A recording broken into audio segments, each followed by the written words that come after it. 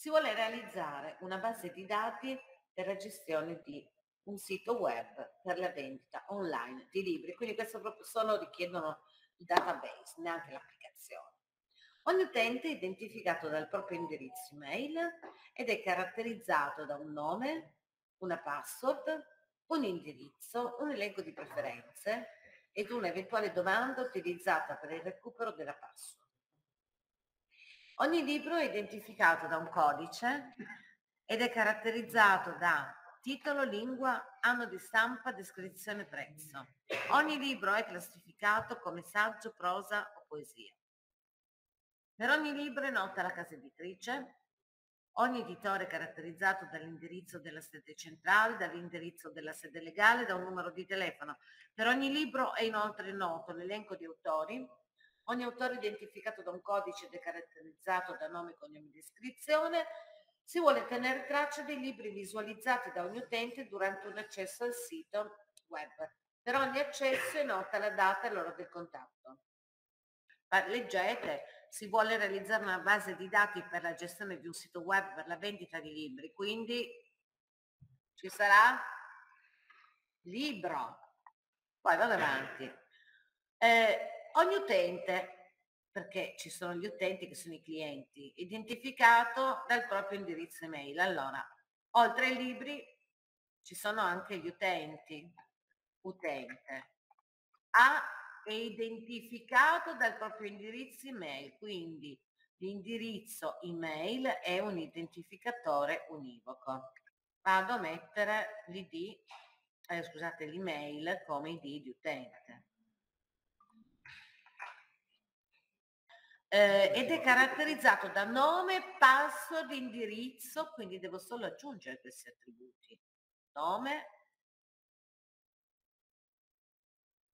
poi il password, nome, password,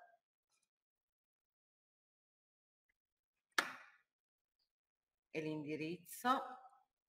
Poi c'è, abbiamo detto, un, ecco, un elenco di preferenze un'eventuale domanda utilizzata per il recupero della password. Allora io intanto metto la domanda per il recupero della password e l'elenco di preferenze come lo mettiamo?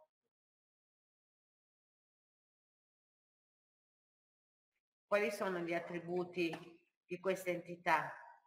Io direi di lasciare un attimo in sospeso questo elenco di preferenze e cercare di capire che cosa ci sta chiedendo, perché sì, possiamo mettere un'entità, sì, eh, oppure magari un attributo dipende, qua non si capisce perché non c'è il contesto. Quindi.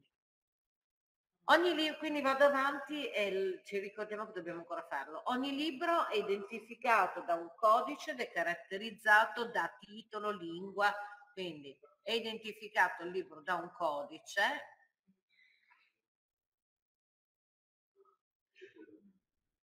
Poi ha il titolo, anno stampa,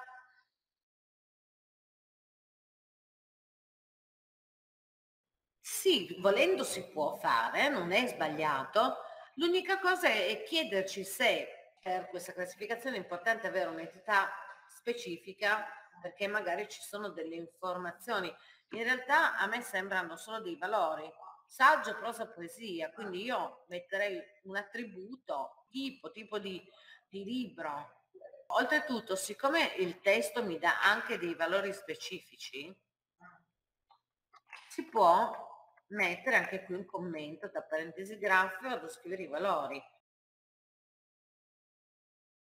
Per ogni libro è nota la casa editrice. Allora, siccome anche la casa editrice potrebbe essere un attributo, attributo però in realtà se poi andiamo avanti a leggere, leggiamo che ogni editore è caratterizzato dall'indirizzo, della sede, eccetera. Esatto, per la casa editrice non basta il nome, ma ci vogliono altre informazioni e pertanto questa diventa un'entità.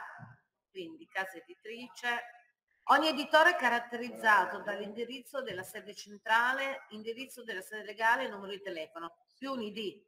Ah, il nome non c'è? Io lo metterei però. Io non aggiungo il nome perché senza nome proprio non ha senso, cioè casa editrice, il nome.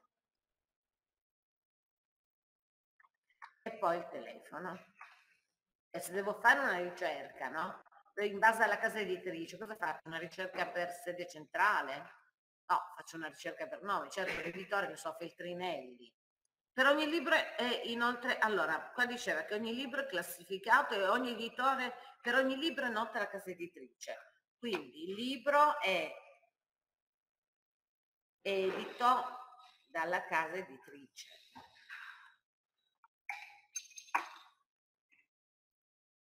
Dato un libro, questo è edito dalla quante case editrice? Quante case editrici? One. Mentre l'editore ovviamente Poiché, allora uso un altro termine perché questo edito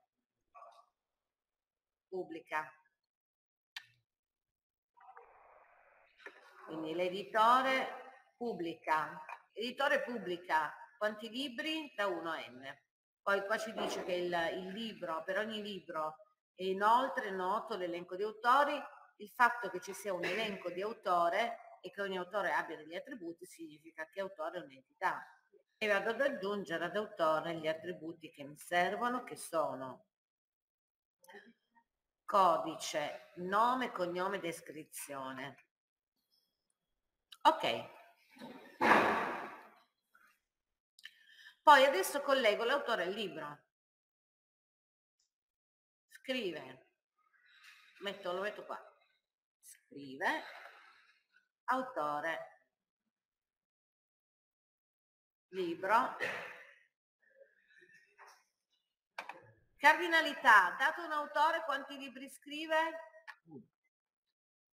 Come uno? Da uno a n, si spera. Dato un libro, da quanti, da quanti autori è scritto? Uno n. Associazione Montemondi. Si vuole tenere traccia dei libri visualizzati da ogni utente durante un accesso al sito web. Per ogni accesso è nota la data e l'ora del contatto. Allora, qui potrebbe venirvi in mente di fare una cosa del genere.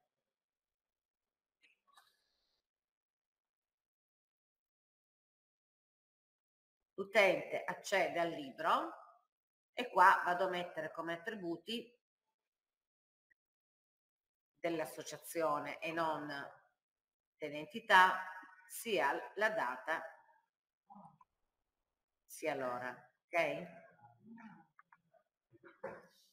E qua avrei che l'utente accede a quanti libri?